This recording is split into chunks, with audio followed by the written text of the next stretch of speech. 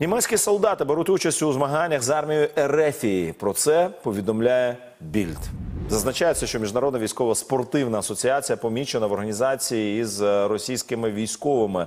За інформацією видання у Бангладеш відбулися змагання із стрільби з лука. На загальному знімку учасників видно і російських солдатів у військовій формі. Вони стоять поруч з